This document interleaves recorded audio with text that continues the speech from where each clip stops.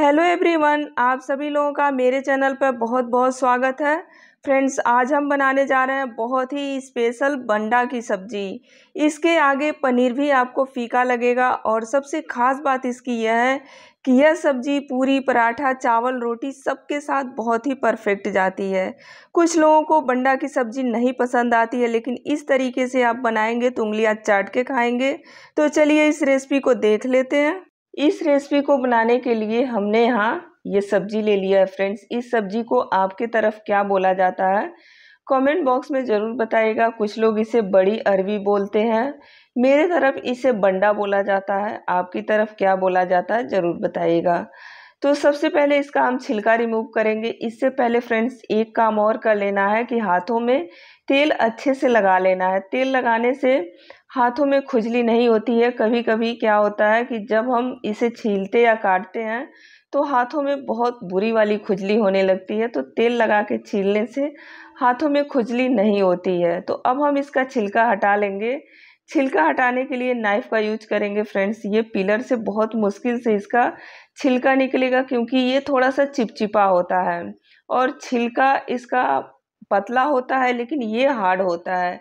ये जो सब्ज़ी होता है तो छिलका अच्छे से हम नाइफ़ की हेल्प से हटा लेंगे। अब बिना धुले इसे काटना है, क्योंकि अगर जो इसे धुलेंगे तो ये ज़्यादा चिपचिपा हो जाएगा, काटते टाइम हाथ से फिसलेगा। तो बिना पानी में गीला किए इसे हम पहले काट लेते हैं। तो काटने के लिए आप जैसा इसे छोटा बड़ा पीस करना चाहते हैं, उस हिसाब से आप इसे काट सकते हैं। तो मैं इसे इस तरीके से काट लेती हूँ। आपको मैं काट के दिखाती हूँ। ये देखिए। इस तरीके से इसे छोटे छोटे पीस में मैं काट लूँगी। छोटे पीस में काटने से ये बहुत जल्दी से कुक हो जाता है। तो यहाँ देख सकते हैं ये चिपका हुआ है, क्योंकि बहुत ज़्यादा ये चिपचिपा होता है। और ऐसा तरीका मैं बताऊँगी इस सब्ज़ी को बनाने का कि ये जो है बिल्कुल चिपचिपा नहीं लगेगा, बहुत ही टेस्टी ये सब्ज़ी बन के तैयार होगी। तो यहाँ हमने सारे सब्ज़ी को काट लिया है, ये देखिए। तो अब हम इससे पहले पानी से धुल लेंगे। तो पानी से इसे मैंने धुल लिया है तीन चार पानी से अच्छे से वॉश करके। इसे पानी में आप रख दें या छन्नी में छान के रख दें ताकि इसका पानी अच्छे से निकल जाए। जब तक इसका पानी अच्छे से निकलेगा, तब तक हम मसाले की तैयारी कर लेते हैं। तो एक प्लेट में मैं आधा चम्मच साबुत धनिया ले ले रही हूँ, आधा चम्मच साबुत जीरा ले ले रही हूँ और मैंने लिया है चार सूखी लाल मिर्च। ये तीखी वाली लाल मिर्च है। जैसा आप तीखा खाते हैं, उस हिसाब से आप लाल मिर्च इसमें डाल सकते हैं। दो चम्मच पीला सरसों ले लेंगे और आठ से दस काली गोल मिर्च ले लेंगे। एक इंच दालचीनी का टुकड़ा और अब मैंने ले लिया है एक काली वाली जो बड़ी इलायची होती है, उसे डाल देंगे। थोड़ा सा जावित्री, एक छोटी इलायची यानी हरी वाली इलायची और दो लौंग डाल देंगे। आधा चम्मच मैंने शाही जीरा और खसखस ले लिया है। अब हम डालेंगे इसमें एक मुट्ठी लहसुन, जिसका छिलका अच्छे से हटा लिया है। और फ्रेंड्स, अब हम मसाले को पीस लेते हैं, बिल्कुल फाइन पीसना है। तो ये देखिए, अब हमारा मसाला पीस के तैयार हो चुका है। मसाले में अब हम थोड़ा सा हल्दी पाउडर डाल देंगे। ये देखिए अब मसाले को हम साइड में रखते हैं और चलते हैं गैस की तरफ़।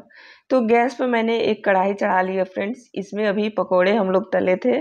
तो इसी में मैं इसे भी फ्राई कर लेती हूँ। तो अच्छे से जब तेल गर्म हो जाएगा तो इसमें डाल देंगे इस बंडा या अरबी को और इसको अच्छे से फ्राई करेंगे। इसे हाई फ्लेम पर फ्राई करेंगे ताकि जल्दी से ये फ्राई हो जाए। फ्राई करने से क्या होगा? जो इसके अंदर चिपचिपा लिक्विड जैसा चीज़ होता है, वो बिल्कुल ख़त्म हो जाता है, बिल्कुल फ्रेश सब्ज़ी बन के तैयार होती है। तो देख सकते हैं, बहुत अच्छे से इसका कलर आ चुका है, बहुत बढ़िया ये फ्राई हो चुका है। तो अब हम इसे तेल से निकाल लेंगे और सारे सब्ज़ी को निकालने के बाद अब हम दूसरी कढ़ाई गैस पर चढ़ा लेंगे। तो इसमें अब मैं सरसों का तेल डालूँगी। एक से डेढ़ चम्मच सरसों का तेल डालने के बाद आधा चम्मच इसमें मेथी दाना डाल देंगे और इसे थोड़ा सा क्रैकल हो जाने देंगे। जब मेथी क्रैकल हो जाएगा, तब इसमें एक मीडियम साइज़ की प्याज को बिल्कुल बारीक काट के डाल देंगे। फ्रेंड्स, आप चाहें तो यहाँ प्याज को पीस के भी डाल सकते हैं, लेकिन मैंने इसको बिल्कुल फाइन काट के डाल दिया है। जब ये 80 परसेंट प्याज भून जाएगी, तब इसमें एक मीडियम साइज़ के टमाटर को बारीक काट के डाल देंगे और इसे भी हम 50 परसेंट तक भून लेंगे। जब टमाटर सॉफ्ट हो जाएगा तब हम मसाले ऐड करेंगे। तो सबसे पहले टमाटर को सॉफ्ट करने के लिए स्वाद के अनुसार नमक डाल देते हैं। नमक डालते ही टमाटर और प्याज बहुत जल्दी गल जाता है। तो देख सकते हैं, बहुत सॉफ्ट हो चुका है टमाटर। तो अब जो हमने मसाला पीस के रखा है, इसमें हम डाल देंगे। तो पूरा मसाला इसमें हम डाल देंगे। प्लेट को धुल के एक चम्मच पानी और हम इसमें डाल देंगे। ये देखिए। और अब हम इसमें डालेंगे आधा चम्मच कश्मीरी लाल मिर्च। इससे बहुत अच्छा इसमें कलर आ जाएगा। तीखेपन के लिए हमने सूखे लाल मिर्च को मसाले के साथ पीस लिया है। तो अब इसे अच्छे से भूनेंगे। जब अच्छे से मसाला प्याज के साथ मिक्स हो जाएगा, तब हम इसे लो फ्लेम पर ढक के पकाएँगे और फ्रेंड्स बीच बीच में इसे चेक करते रहेंगे। तो फाइनली ये देखिए फ्रेंड्स, अब हमारा मसाला बहुत अच्छे से भुन चुका है। ये देखिए। और मसाला भुनने के लिए हमने बहुत कम तेल का यूज़ किया है। तो देख सकते हैं फ्रेंड्स, मसाला बहुत अच्छे से भुन चुका है। अब हम इसमें सब्ज़ी डाल देंगे।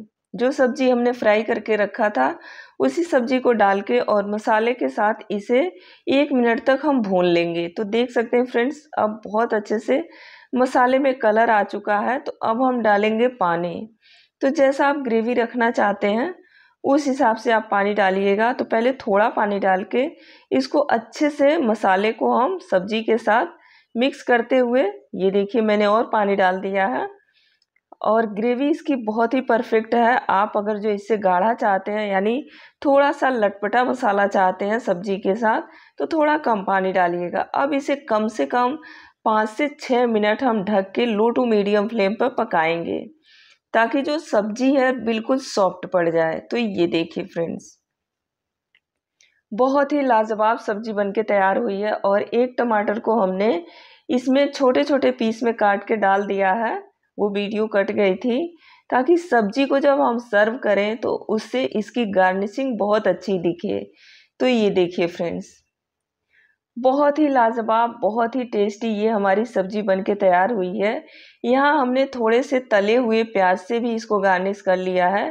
प्याज के स्लाइस को थोड़ा सा भून लिया था तेल में और इसमें ऐड कर दिया था। तो देख सकते हैं फ्रेंड धनिया की पत्ती डालने के बाद अब हमारी सब्ज़ी खाने के लिए बिल्कुल रेडी है।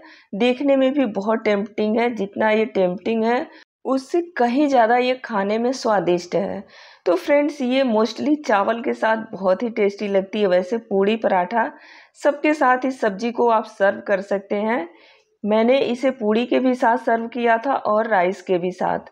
सुबह नाश्ते में पूड़ी के साथ और दोपहर के लंच में मैंने इसे राइस के साथ सर्व किया था। फ्रेंड्स देख सकते हैं, बहुत ही लाजवाब ये हमारी सब्ज़ी बन के तैयार हुई है। खाने में बहुत ही टेस्टी है। तो फ्रेंड्स, सब्ज़ी की ये रेसिपी आपको कैसी लगी? कमेंट बॉक्स में ज़रूर बताएगा। चैनल पर नया है तो चैनल को सब्सक्राइब कर लीजिएगा। साथ साथ बेल आइकन को प्रेस कर लीजिएगा, जिससे आने वाली मेरे लेटेस्ट वीडियो का नोटिफिकेशन सबसे पहले आप तक पहुँच सके।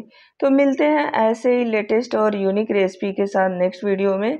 तब तक के लिए बाय बाय जय Shri Hari. Thank you for watching